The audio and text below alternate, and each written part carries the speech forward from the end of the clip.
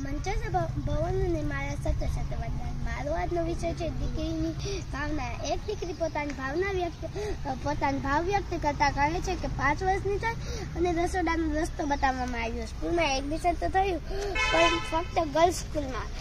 એક દીકરી છું ને કપડાની લંબાઈ તો મેં હંમેશા લોકોના વિચારો કરતાં વધુ જ રાખી છે. વધુ રાખી છે, ભણવા માટેનો સમય ઓછો અને રસોડામાં મેં પૈસા વધુ પાડ્યો છે. સ્નાતક સ્નાતક જરૂરી છે, પણ ફક્ત એક સારો છોકરો મેળવવા માટે, નહીં કે જોબ માટે.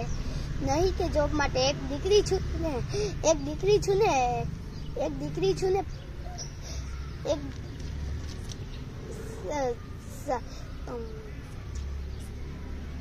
સપના જોવાની તો પરવાનગી જ ક્યાં છે મને? સપના જોવાની તો પરવાનગી જ ક્યાં છે મને? સપના જોવાની તો પરવાનગી જ ક્યાં છે મને? સોશિયલ મીડિયમ પર મારી આઈડી જુએ તો અનેક સવાલો મને પૂછાય છે. ખબર નહીં યાર, કેમ યાર, દરેક, જિંદગીના દરેક પગથિયા મને જ કેમ શક્તિ જોવાય છે? હંમેશા હંમેશા અલગ ખૂણે મને જ શિખામણ કેમ અપાય છે? એક દીકરી છું ને એક એક હું તો એક દીકરી દરેક સિચ્યુએશનમાં જીવી જ લઉં છું.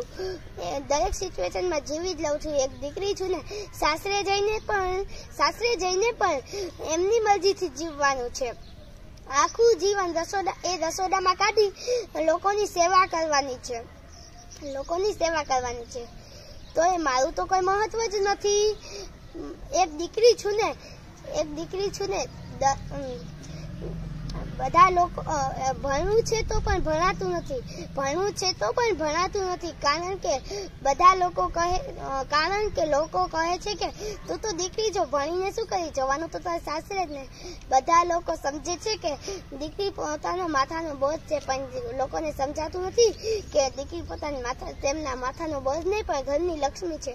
અંતે હું એટલું જ કહીશ કે પરાયા હોકર ભી કભી પરાય નહીં હોતી.